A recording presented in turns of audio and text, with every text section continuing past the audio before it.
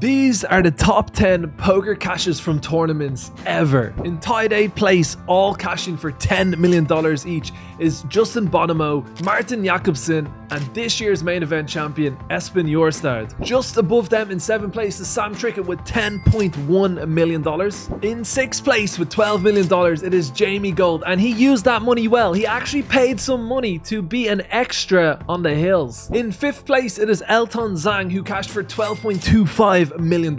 In fourth place, it is Dan Colman, who had a massive cash of over $15 million.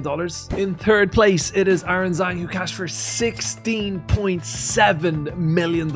In second place, it is the magician Antonio Esfandiari, who cashed for $18 million. And in first place, it is a man who just attracts controversy wherever he goes and has been involved in all sorts of scandals recently. It is Bryn Kenney, who has cashed for over $20 million.